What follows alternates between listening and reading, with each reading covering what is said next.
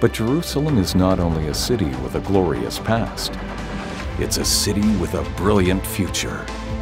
And thanks to the Hebrew University of Jerusalem, it is also a hub and center for academic excellence, science, technology, and innovation. We're actually affecting people's lives on a daily basis. Mobileye, this is literally a technology that saves lives. 85% of the world market of accidents avoidance of collisions is Mobileye.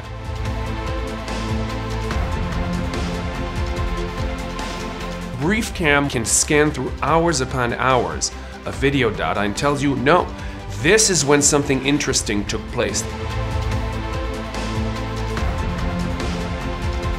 Exelon is a treatment for dementia. This drug is sold throughout the world as a result of research that takes place here at the Hebrew University.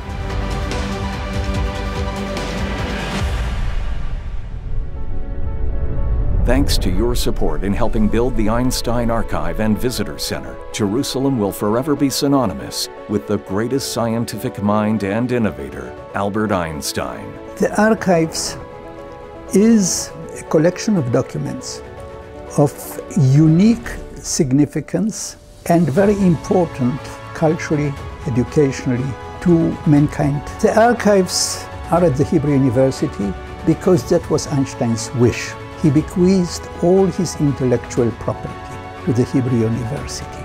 It is appropriate that we construct a physical home to hold all these treasures, to make it a visitor centers for people who want to learn about Einstein, to make it a place for a permanent exhibition about what Einstein stands for. Humanitarian responsibility thinking for the next generation, responsibility for science, and bringing the best of science to the world. His legacy for us, we have to follow up with.